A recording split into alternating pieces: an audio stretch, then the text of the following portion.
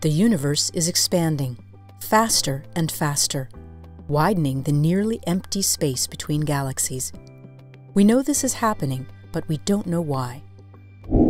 Scientists use the term dark energy to describe this accelerating expansion. It could be caused by a previously unknown force, or we may need to rethink the laws of gravity. Dark energy is a very big mystery, making up about 68% of the universe. To solve this mystery, scientists need better measurements of this expansion rate and how it has changed. DESI, the Dark Energy Spectroscopic Instrument, installed on the Mayall Telescope at Kitt Peak National Observatory near Tucson, Arizona, will map 35 million galaxies in 3D by measuring their light. The range of colors or spectrum of their light will allow us to better gauge their distance and measure the rate at which they are moving away from us. This will give us new clues about dark energy.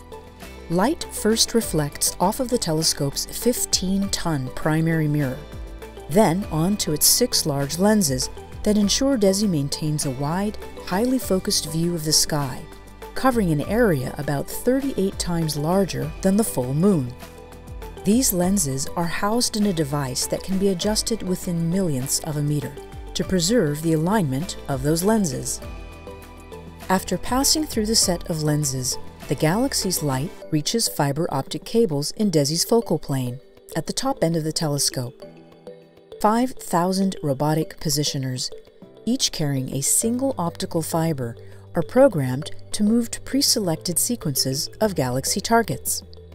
This automated dance of robots allows DESI to target sequences of thousands of galaxies at a time.